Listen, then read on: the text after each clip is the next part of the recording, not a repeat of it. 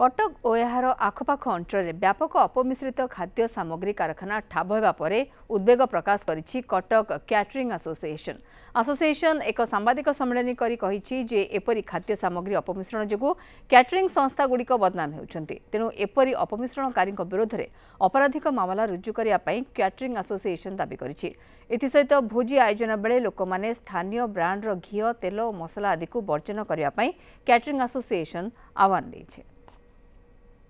କଟକର ବର୍ତ୍ତମାନ ମୂଳ ଲକ୍ଷ୍ୟ ଆମର ଡାକିବାର ପ୍ରେସ୍ ମିଟ୍ ଡାକିବାର ମୂଳ ଲକ୍ଷ୍ୟ ହେଉଛି ଯେ କଟକରେ ବର୍ତ୍ତମାନ ଅପମିଶ୍ରିତ ମସଲା ତେଲ ପନିର ଏସବୁ ବର୍ତ୍ତମାନ କଟକରେ ପହଞ୍ଚୁଛି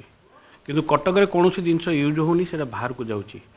ଆମେମାନେ କଟକ କ୍ୟାଟରିଂ ଆସୋସିଏସନ୍ ତରଫରୁ ଦୂର ସହକାର କହୁଛୁ ଯେ ଆମେ ଏସବୁ ଜିନିଷ ୟୁଜ୍ କରୁନାହୁଁ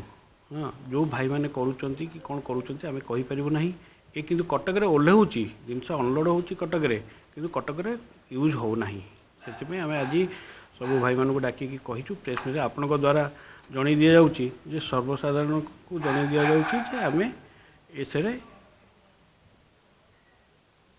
ना हूँ